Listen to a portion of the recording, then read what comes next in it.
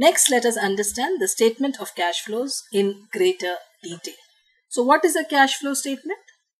You start with a certain balance of cash at the beginning of the year. On January 1st, if suppose you have $10,000, at the end of the year, on 31st December, maybe you have $14,000.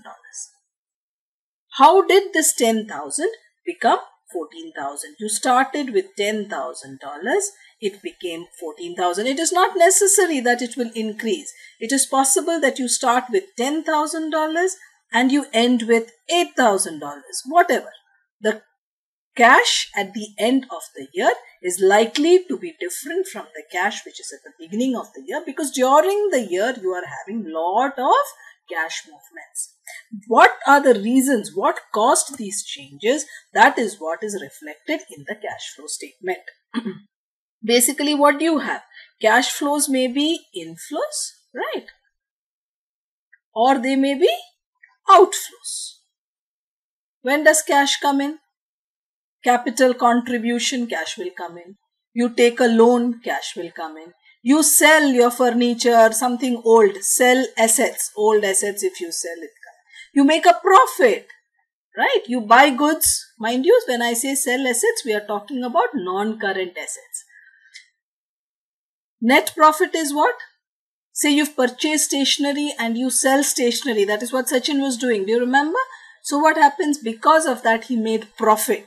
So profits, if you make, normally they would increase your cash balance provided, of course, those transactions were in cash. Similarly, what would be your outflows of cash? You withdraw capital, capital withdrawn. Can I say capital contribution there? Capital withdrawn here, capital withdrawn loan repaid. You buy assets instead of selling. You buy assets. You pay dividend. So cash goes off because you pay dividend.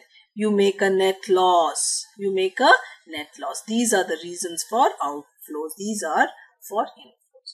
What we do now, we don't mix up all these together. Instead, we divide this into three kinds of activities. What are they called? One is called, remember?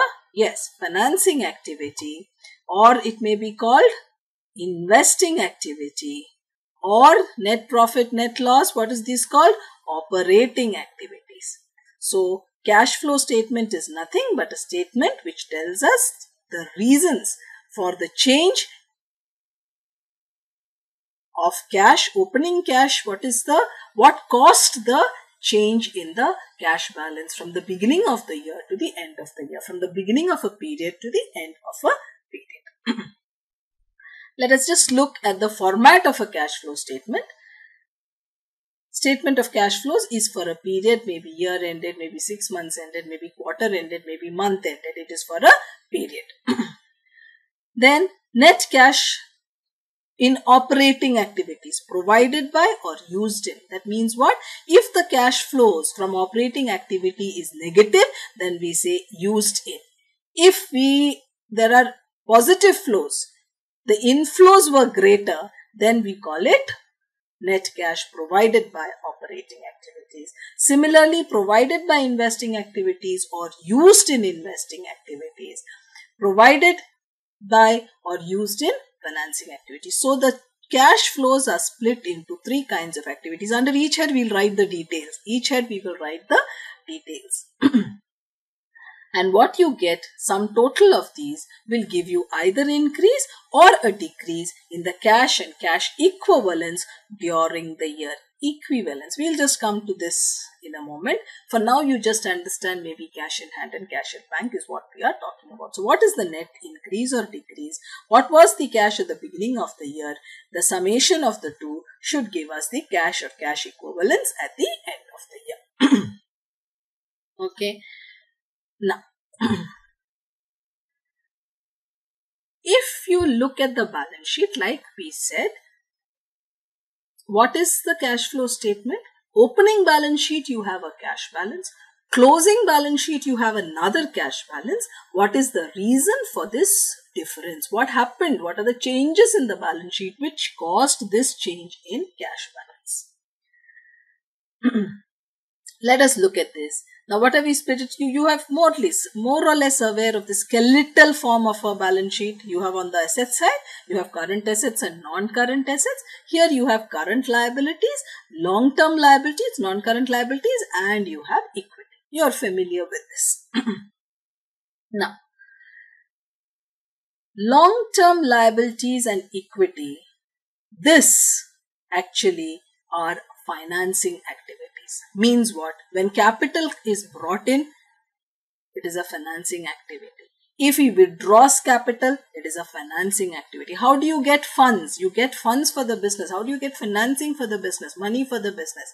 The part, the, the, the, the, the owner, the proprietor, the owners will bring in money. That is equity, capital contribution, capital contribution.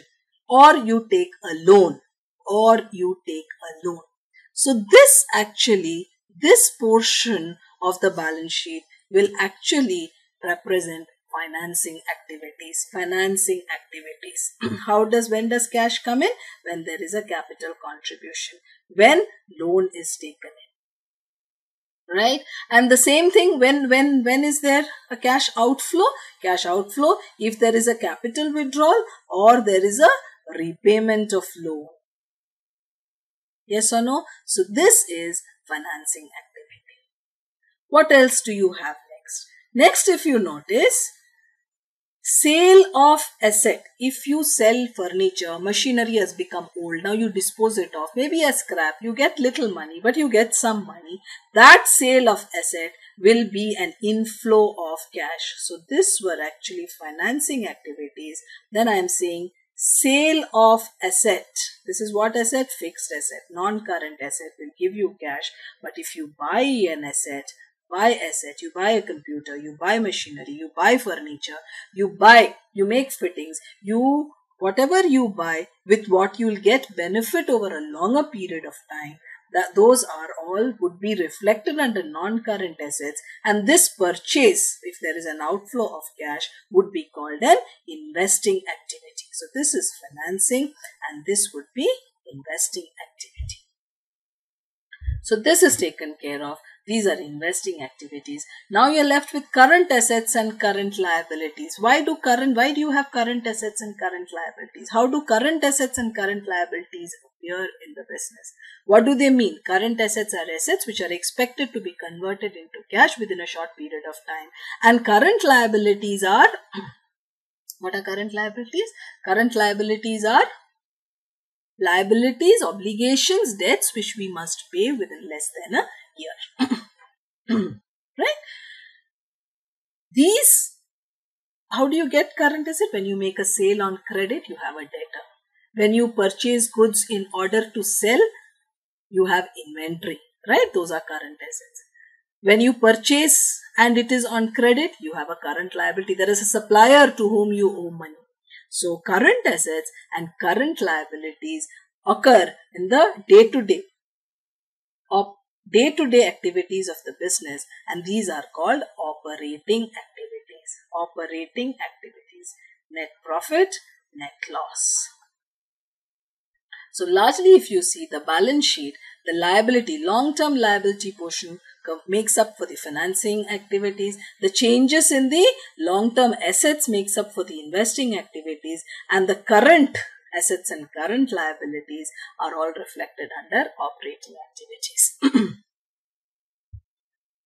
now, what are cash and cash equivalents? You already know it includes cash, includes balance at bank at the different bank and different bank accounts that the business might have and it includes short-term investments. What do you mean by short-term investments? Investments which have a maturity within three months of issue three months of issue.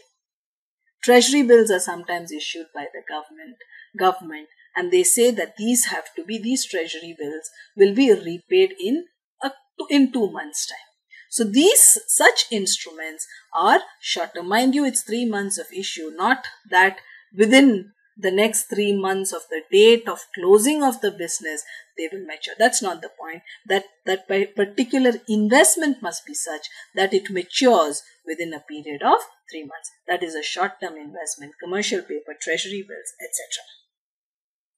and when they are converted to cash there is a negligible loss in value on conversion it is not going to be some kind of a distress sale it would be uh, there is hardly any loss in value on conversion of these in instruments. So these these are your cash equivalents. This is cash in hand cash at bank and these are the other cash equivalents.